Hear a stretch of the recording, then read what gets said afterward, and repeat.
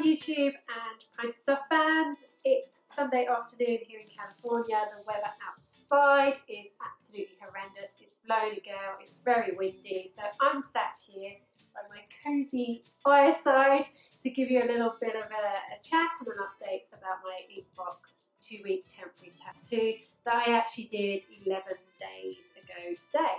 Um, so I did my video um, explaining how to put the tattoo on, etc. So I just want to give you a bit of a follow up just to see um, how it's wearing and what I think of it. So as I said, it's been 11 days now. Uh, here it is. Hopefully the camera is picking this up. Um, this is the Inkbox two week temporary tattoo. This is a London skyline. Now when I did this, if you haven't seen uh, my application video, um, have a look at my mistakes because I made quite a few. The only bit of this tattoo that is that that isn't quite perfect, which is purely down to my stupidity um, on application, is this little bit here, which I pointed out in my first video of the London Eye, where it doesn't quite join up to Big Ben, and also there's a little bit of bleeding ever so slightly here on uh, Tower Bridge or London Bridge, so apart from that,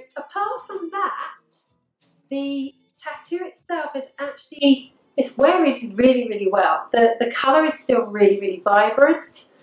I really, really like it. I can't stop looking at it. Uh, nobody's questioned me on it yet, which has surprised me. I, as I said in my video, I wanted this done for, for New Year's Eve. It was actually freezing, flipping freezing here on New Year's Eve. So I ended up wearing a long sleeve top, so nobody really got but yeah, it's there. I love it.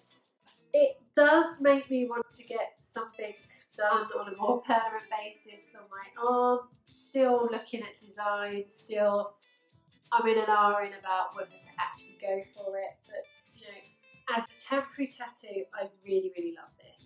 And I like the fact that it's there for, for quite a while. You know, I'm pretty sure that that is going to last another going to go way, way beyond the, two weeks.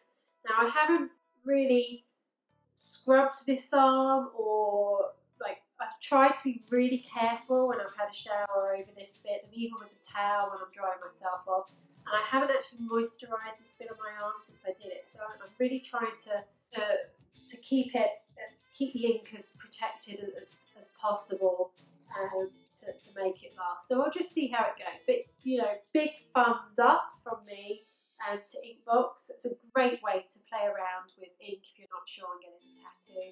I really, really like those silver and gold and the black um, tattoos by Anushka Woods in the UK. I don't know whether the same here in the, US. I think it was LL, LLDK, maybe here in the US because um, I had some of those before. Those I really, really love in the summer because when your skin has a bit of the gold and silver looks really, really nice. But I'm loving the black ink. So as I said, yeah, I really love it. Uh, yeah, it'd be good to hear your comments on this in our comment section underneath. Um, whether you've actually tried any of these or your experience of having a real tattoo. You know, as I said, everybody says to me, yes, it hurts, some people have said, no, it doesn't hurt, it depends on where it is though. But you know, any experience any comments on, on Inkbox or your experience with Inkbox as well would be great. So I guess I'll see you soon with something else. There may be some more sneakers on the way. Anyway, uh, enough of me. Enjoy the rest of your day, YouTube. See you soon. Don't forget to like, subscribe, and follow us on our social channels Instagram, Facebook, Instagram, and Twitter. See you soon. Bye.